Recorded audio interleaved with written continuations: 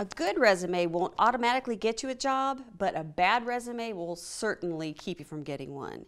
You have to grab their attention very quickly with an easy to read format in a way that presents your information in both a professional and interesting manner. You have to do all of that in about six seconds. Studies have shown that recruiters only spend about six to 10 seconds on average per resume. Eye tracking studies have also shown that formatting really does matter. There are several different kinds of formats that you can use. The most common format that's used is the chronological resume format. But if you have a lot of experience or maybe you've had some career changes along the way, you may want to consider a functional format or even a combination between the two. If you're in more of a creative field, you can have more of a visual resume format, such as an infographic using Piktochart or Canva, or you could also create a resume using Prezi to create a presentation format of your resume. A few common things to watch for is be cautious when you're using resume templates.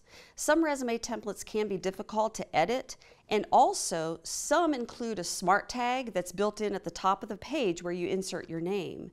What you may not realize is happening is on the other end, when the recruiter opens up the resume, it automatically changes to their name instead of yours. Another thing that you need to be cautious about is don't rely on spell check alone. Spell check doesn't catch everything, especially if you use a correct word but you've misspelled it. For example, we see the word lead, L-E-D, misspelled as L-E-A-D quite often. So make sure that human eyes look at your resume, don't just rely on spell check. Spell check also doesn't catch if you have something in all capital letters. For example, we see the word experience misspelled quite often, but it's in all capital letters. So the spell check doesn't catch that. So again, run it by some human eyes. Make sure, send it to your friends, let them look at it and make sure that everything is spelled correctly and you're using the correct grammar. Also, we get a lot of questions about should the resume be one page or two? The rule of thumb still is to try to keep it to one page if at all possible. However, if you have to go on to a second page, make sure that you have enough information that will warrant that second page. Also, keep in mind that the recruiter will probably not take the time in those six to 10 seconds to look at that second page.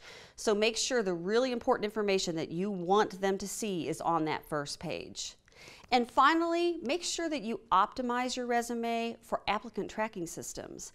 Most of the time you will be applying for a job online and the way the system works is it will canvas your resume, pull out every time there's a keyword that matches the job description.